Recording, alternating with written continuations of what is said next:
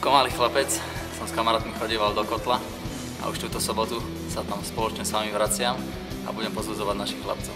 Zdravím všechny fanoušky Belasích. Eh, Mrzí mě, že v sobotu nemůžu nastoupit, ale chtěl bych klukům pomoct aspoň v hledišti. Eh, Tím pádem bych eh, všechny hrát pozval do kotle, přijdu se tam podívat, podpořit kluky a vidíme se v sobotu.